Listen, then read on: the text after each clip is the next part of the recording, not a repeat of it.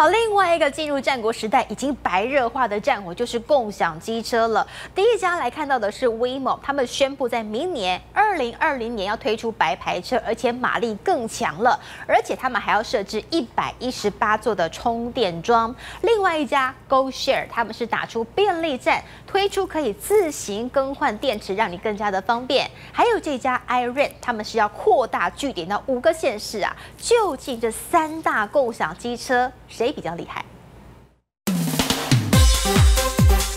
绿色、红色还有马卡龙蓝电动车销量十一月就突破三成，战火更延烧到共享经济上。现在共享机车真的是越来越方便了，像我现在只要透过手机轻按一下就可以开启电源，而且啊我们在还车的时候呢，只要在停车格线都可以还车。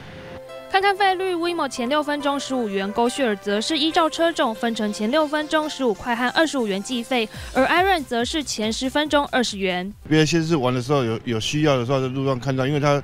可以甲地租车，乙地还嘛，这个时候就会用到。如果要赶课就赶不上了，所以那时候就不如去借什么 WeMo 什么的。上课上班更方便，插旗据点来比拼。iRent 范围最广，五个都市都能骑。WeMo 则是打车海战，投放五千辆机车。GoShare 虽然只有桃园、台北能骑，但民众能够自己换电也成了优势。WeMo 跟 iRan 他们都是使用人工换电为主，也就是说，当我车子没电的时候，我停在路边会有人来换电。